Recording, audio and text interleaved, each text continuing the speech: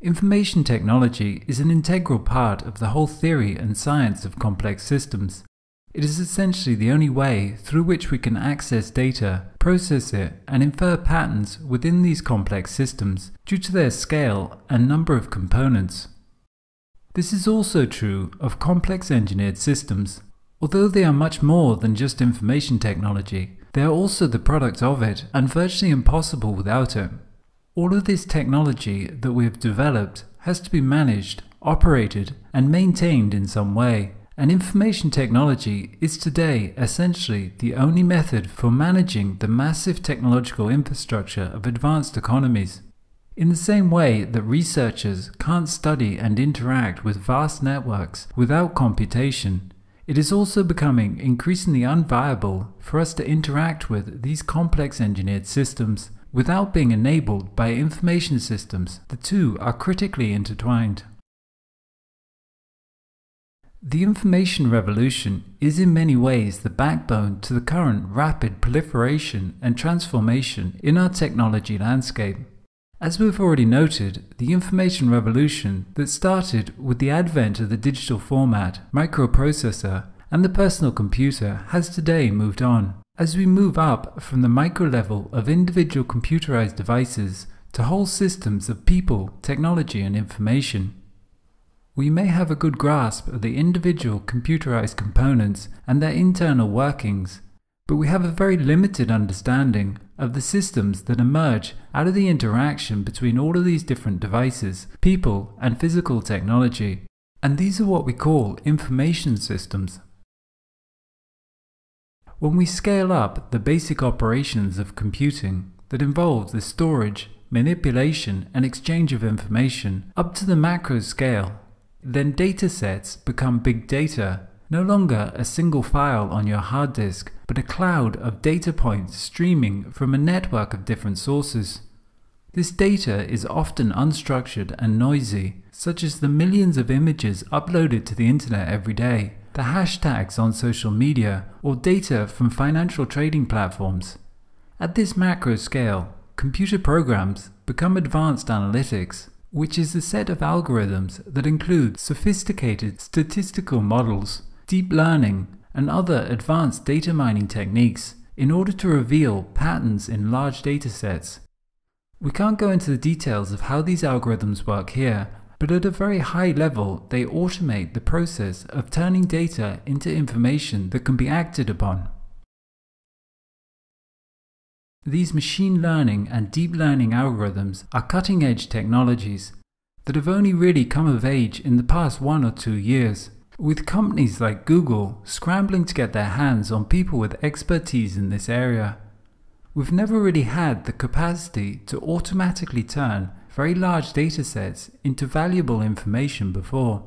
This technology already provides solutions to many problems in image recognition, speech recognition, and natural language processing, and it will very likely be the engine behind a lot of innovative, groundbreaking technologies in the years to come. This is the forefront of the information revolution today, and it is still a radically disruptive force. The last technologies that we'll briefly mention are social networking and mobile computing. Social networking gives people a representation in this world of information systems and makes explicit our actions. Computing is becoming increasingly pervasive as the digital and physical world are converging. Social networking and gamification are coming out of their box and will become increasingly a part of and overlaid on top of the physical world to give everything a social dimension. This again is very much cutting edge technology, but there's growing research on the convergence of the Internet of Things and social networking to give us what is called the social network of things. All of these different technologies combine to give us the acronym SMAC, which stands for Social, Mobile, Analytics and Cloud. These technologies are currently at the forefront of shaping our IT infrastructure. The formal definition of an information system is the combination of user, technology, and process to complete a given goal. Information systems collect, store, process, and exchange information. Today they are used in all forms of organization of any size from enterprise information system to manufacturing to transportation and urban information systems. Information systems serve a number of critical functions within complex engineered systems. They serve the function of basic control, automation, and of coordination between different systems. We'll discuss each of these functions separately. A control system is a specialized subsystem for controlling another system. A very high-level generic model of this would consist of a sensor for receiving information about the system being controlled in its environment, a logic unit that processes this information according to some set of instructions, and an actuator that executes on the controller's instructions. In order to control a system, all of these elements need to be present and working together. How we control technology has of course evolved over time. If we think about a hand tool like a shovel, all of these control functions are being performed by the person operating the technology, who is also inputting the physical energy into the system. Industrial technologies and new energy sources removed humans from the direct physical control over the system as it became mediated through mechanical levers. The electrical revolution gave us electrical interfaces, but all still largely controlled by human operators. With the advent of information technology, basic control processes, such as on production lines and other industrial processes, have become automated. There is only so many technologies that a single human can interact with and manage. At a relatively low level of technological saturation, such as in pre-modern societies, we can interact with and directly control all the technologies we own. But as we increase the number of technologies and the complexity of the technological infrastructure, this becomes no longer possible. To develop the large infrastructure systems of the industrial age required a certain level of automation, allowing for any single individual to be enabled by many more and diverse technologies it no longer became possible for us to manually interact with, directly control, or even understand all these technologies. The more technology we have and the more complex this infrastructure becomes, the more we need information to interact with it and manage it. The advent of digital computing and advanced telecommunications is driving a new level of automation that is required to manage the ever-growing complexity of the technological infrastructure that supports post-industrial societies. A single premium-class automobile may contain close to 100 million lines of software code that are executed on 70 to 100 electronic control units networked throughout the body of the car. The physical operations of whole mass transit rail systems, such as that of Dubai, have now become automated. And many other basic control processes have become automated, such as manufacturing processes in factories, switches in telephone networks, steering and stabilization of ships, aircrafts, and other applications. General purpose process control computers have increasingly replaced standalone controllers with a single computer able to perform the operations of hundreds of controllers. Process control computers can process data from a network of PLCs, instruments, and controllers in order to implement typical control of many individual variables. They can also analyze data and create real-time graphic displays for operators and run reports for engineers and management. For example, the Union Pacific Railroad placed infrared thermometers, microphones, and ultrasound scans alongside its tracks. These sensors scan every train as it passes and send readings to the railroad's data center, where pattern matching software identifies equipment at risk of failure. And increasingly, these systems will be connected to cloud platforms in order to run the kind of advanced analytics we discussed above as major corporations such as General Electric and Cisco are currently investing heavily in this technology. Information systems also play an increasingly important role in coordinating, load balancing, and optimization between disparate systems. With pervasive networking, we can sense our world like never before, get real data about how these things are performing, and there is a vast amount of space for optimization both on the micro level and the macro level. It is estimated that we waste somewhere between 40 and 70% of electricity on the grid worldwide. The cost of traffic gridlock in Europe is estimated to be a few percentage points of the entire GDP, and reports have estimated that over 30% of traffic in a city is caused by drivers searching for a parking spot. All of these different systems could be greatly optimized through common protocols and platforms that enable information exchange and coordination. As previously mentioned, the industrial modeled organization that underpins the infrastructure we inherit was very much domain focused. We have departments for the domain of energy, departments for the domain of water, departments for transportation, and so on. What we don't have is departments for processes that cut across domains, and thus our infrastructure systems may be somewhat optimized in isolation, but they're currently not optimized on the aggregate level. Getting these different systems to talk to each other is key to developing sustainable systems through energy efficiency and recycling. Smart cities are good examples of this, where different systems have to work together to actually make the whole system smarter.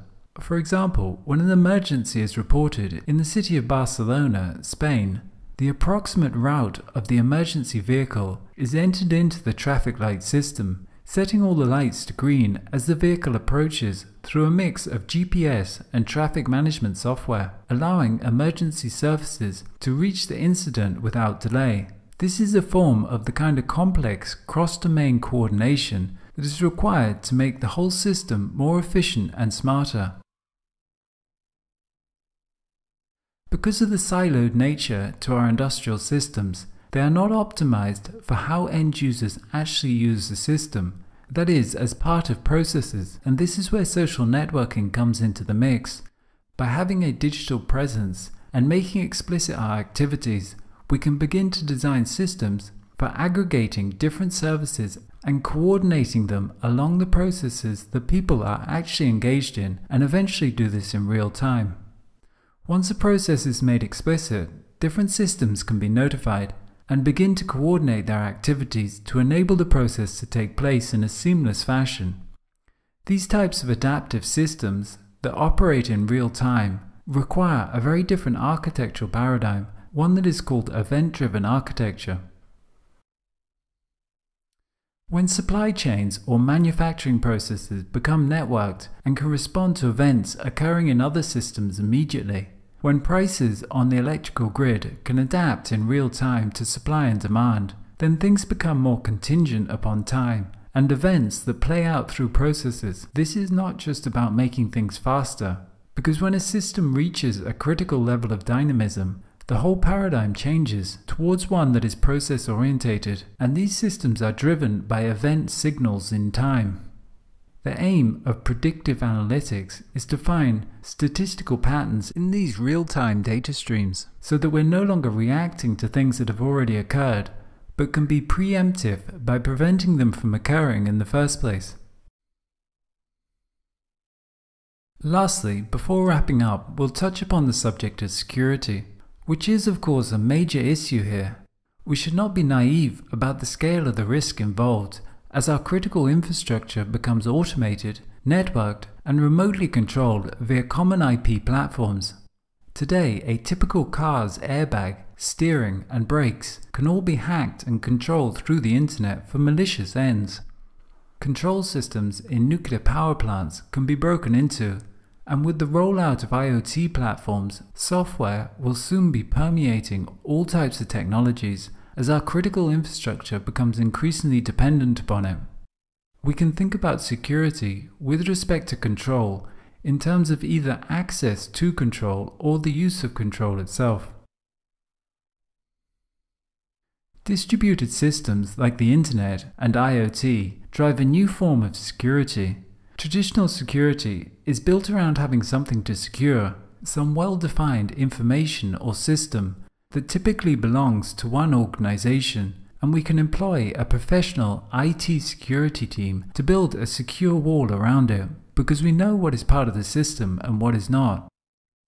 But in this world of distributed systems like the internet, we're dealing with billions of devices that may belong to end users with little awareness or concern for security. And these many exposed and vulnerable end user devices can be harnessed for distributed attacks. In this way, security can become a tragedy of the commons. It may be of no great value for me to change the default password on my router, but when millions of other people do likewise, the net result can be a macro scale security issue with many devices vulnerable to being harnessed for attack. This is just an example of the nature to security within distributed systems. But as mentioned, security is more than just ensuring prevention of attackers from breaking into a system. It is ultimately about the appropriate use of control and power. And with this next generation of information systems, we're consolidating and handing over an extraordinary amount of power to these automated algorithms. A system is only really in control when awareness, responsibility, and power are all aligned. This means the exercising of control through a multi-tiered framework with more intelligent and aware systems guiding systems that are lower in their capacity for information and knowledge processing. Whereas information and data may be growing at an exponential rate, this only works to make intelligence an increasingly scarce resource. Information technology, on the one hand, commoditizes information and data, driving its value right down. But because of this, it also increases the value of knowledge and intelligence, making them scarce resources. Wherever there is demand for a scarce resource, there is a hierarchy based upon access to that resource.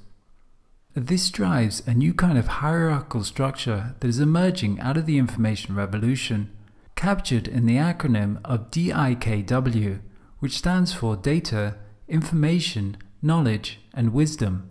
Controlling these systems in a long term, sustainable, and secure way means understanding this hierarchy and building it into our systems of technology so that this world of complex engineered systems that we're going into is governed and controlled by true knowledge and ultimately some form of wisdom.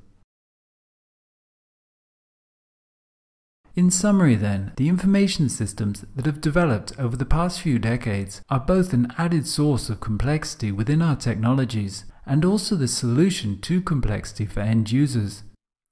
These information systems enable us to harvest vast amounts of data, harnessing it to coordinate and optimize systems. Through the convergence and integration of a number of technologies like cloud computing, analytics, pervasive sensing, and social networking, we're reshaping our technology infrastructure to make it more adaptive, process oriented, dynamic, and real time. It gives us the capacity to greatly increase the efficiency of our systems of technology through automation and real time coordination happening within a new event driven architecture but it also holds out many security concerns that require intelligent design and management to achieve long-term sustainable solutions.